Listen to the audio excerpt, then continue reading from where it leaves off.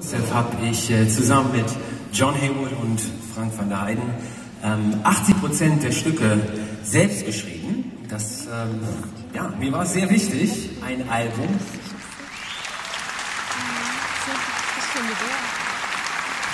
Vielen Dank.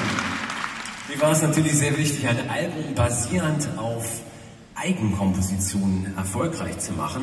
Das ist natürlich für einen Künstler und Komponisten etwas ganz Besonderes. Ich habe mich von allem inspirieren lassen, was ich musikalisch toll finde.